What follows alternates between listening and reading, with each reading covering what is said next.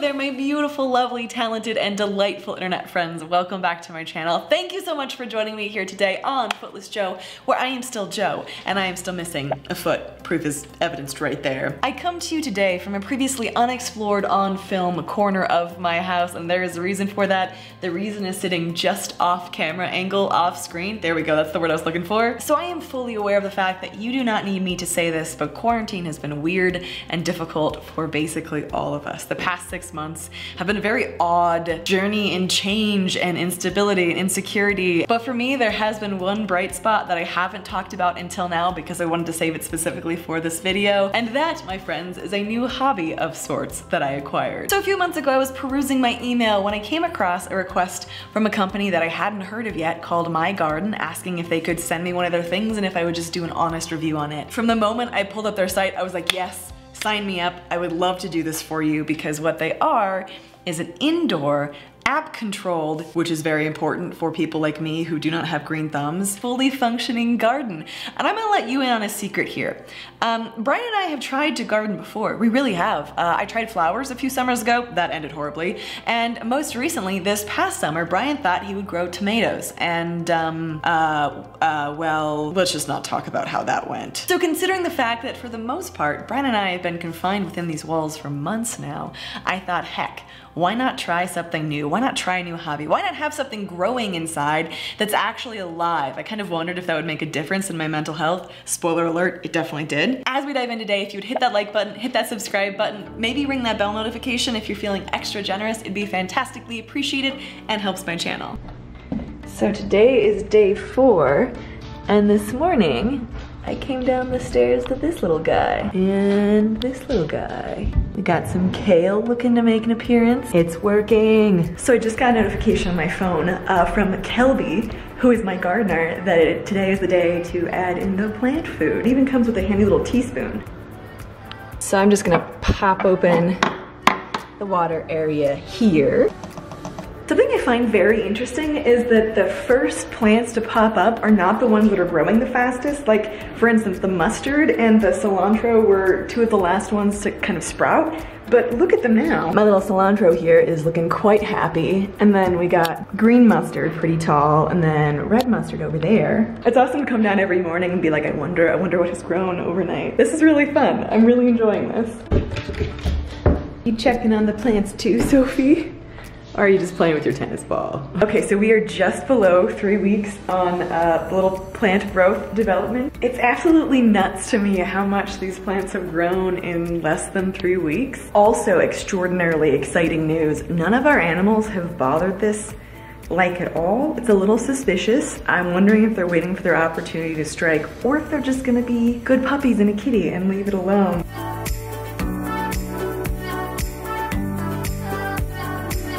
Ladies and gentlemen, we have a freaking legit garden on our hands. Oh, it's too overexposed, you can't see it, hold on. Look at this luscious tower of beautiful greenery. Like, check this guy out, he's so happy. These big leaves here. Uh, my personal favorite is down here. These leaves look so like healthy and pretty, they look plastic. Look at that delicious kale ready to put into a smoothie that I'm gonna hate. I don't like kale smoothies, but I know that they're good for you and I'd feel a lot better if it was my own kale that I was eating. It's legitimately been very life-giving to me to know that every morning I'm gonna wake up and I'm gonna see like new life and growth. The world's a crazy place right now. It's been mentally hard for I think pretty much everybody and having something new that I can like take care of and tend to and see progress and change and have something living in my home when it's hard to get out of your home right now is just, just, it's such a gift. It's absolutely delightful and I love it. So I was making dinner tonight and I realized the recipe called for cilantro and I actually have cilantro that we grew ourselves. This is the first time I will ever be cooking with food that I actually grew. Drum roll please. Ta-da! Look, I have grown things. I have grown things that are actually alive and flourishing and I have consumed. For instance, most recently I made some dill chicken with that dill right up there. Multiple times I have used the cilantro that we see. Just broke that leaf, that was not a great visual that we see. So as someone who has never really gardened before or been too involved with like having a green thumb or growing my own food, this has been so cool. And it's also been an amazing mental health boost for me to see things that are alive and growing and evolving and changing. In my house at a time where it can kind of feel like time has stopped because like I said, we're indoors most of the time. We're not seeing a ton of people. We're not involved in the outside world. And so it almost starts to feel like you're stuck in this just chamber where nothing ever changes and every day is the same. And so having something that's a very visual and alive reminder that things are changing, things are growing has honestly been amazing to me. Like, especially as things were sprouting, I'd come down every morning excited to see like what the new growth was and which ones had popped up and did this one have a leaf yet? And oh look, cilantro grew like an inch overnight. It's just been, it's been really cool and healthy for my brain and honestly my body with fresh things to have this as part of our household. Something that both Brent and I really appreciate about this is that it's pretty much foolproof. This whole system is controlled by an app and a virtual assistant by the name of Kelby who lets you know, hey, your tank's low, you should really fill it up, or guess what, it's time to clean things. Also contained within the app, there's a whole plant book that tells you everything you need to know about certain plants and sizes and harvest times and all of that. This whole thing, from the lights coming on to turning off to watering it, can run on a completely automatic schedule so you don't have to worry about about it so you don't have to hire someone to come watch your plants when you're going away for the weekend, though none of us are really doing that considering it's quarantine. But if you were going somewhere, this would take care of itself. You can even check on it with the live cameras that it has.